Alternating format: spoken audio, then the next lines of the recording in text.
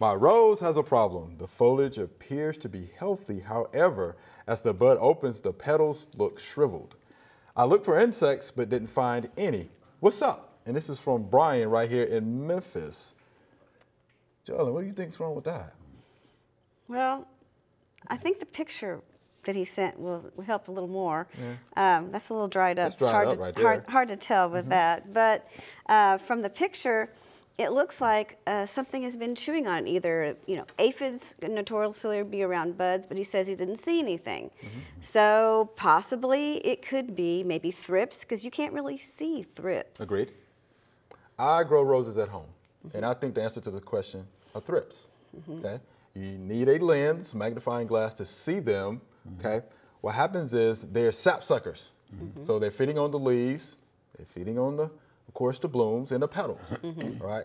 So that feeding actually causes that bloom to partially open or prematurely close. Mm-hmm. So that's what I think that is, thrips. Now, controlling thrips, pretty tough. Yeah, yeah. You know, I've used in the past insecticidal soap, but you have to catch them when they're very young, right? You have to know the life cycle, catch them in the stages where, of course, you know, that's going to work. Mm-hmm. So you can use, again, insecticidal soaps work. You can use something that contains bifenthrin if you want to pull out the heavy, you know, guns there, or acephate is something else, or some of your soil drenches actually has, will suppress, you know, mm-hmm. those thrips. Mm-hmm. But it's up to you to decide which one you want to use. Mm-hmm. But I would go with the insecticidal soap first.